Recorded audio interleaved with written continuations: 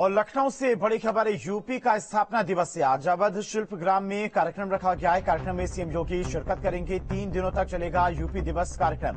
निवेश, रोज़गार और यूपी दिवस की थीम रखी गई है। इस कार्यक्रम की खिलाड़ियों का सम्मान भी मुख्यमंत्री योगी आदित्यनाथ करेंगे। और सम्मानित नगद पुरस्कार प्रतीक चिन्ह प्रदान करेंगे सीएम योगी। राजधानी लखनऊ में आज से तीन दिनों तक यूपी स्थापना दिवस का कार्यक्रम आयोजित किया जाएगा।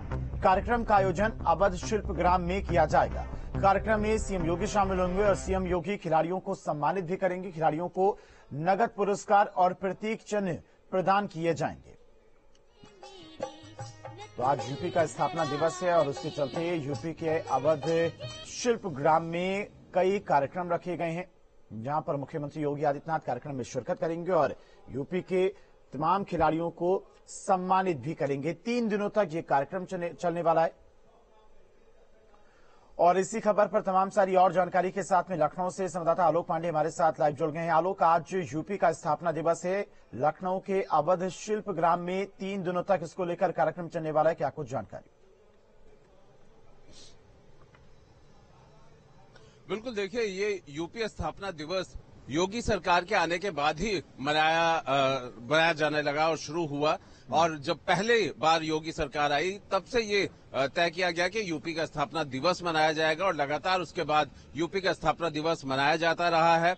इस बार 24 से लेकर के 26 तारीख तक ये कार्यक्रम चलेगा, यूपी स्थापना दिवस। इसमें अलग अलग तरीके के कार्यक्रम होते हैं, सांस्कृतिक कार्यक्रम होते हैं, यूपी के अलग अलग हिस्सों को दिखाने का काम होता है, एक शोपीस बनाया जाता है, अवध शिल्प ग्राम, जहाँ पर यूपी के अलग अलग जिलों का प्रदर्शनी लगती है, जो हम वन डिस्ट्रिक्ट, वन प्रोडक्ट कहते हैं। उस सभी तरह की चीज़ों को कि यूपी में कितनी यहाँ पे अगर कहा जाए अपॉर्चुनिटीज़ है, यहाँ पे कितने ऐसे काम है, ऐसे कारीगर हैं, ऐसे कलाकार हैं, जो कि अन्य जगहों पे नहीं है। तो मुख्यतः यूपी को लेकर के यूपी का शोपीस वहाँ देखने को मिलता है, लोग जाते हैं, कई दिन तक ये कार्यक्रम चलता है, सांस्कृतिक कार्यक्रम होते हैं। आज मुख्यमंत्री योगी आदित्यनाथ साढ़े दस बजे वहाँ जाएँगे और विधिवत इस कार्यक्रम की शुरुआत होगी। उनके साथ यूपी के राज्यपाल आनंदीबेन पटेल रहेंगे, डिप्टी सीएम ब्रजेश पाठक है, और भी कई कैबिनेट के साथी साथ में रहेंगे। मुख्यतः यूपी का जो ये स्थापना दिवस है 24 से 26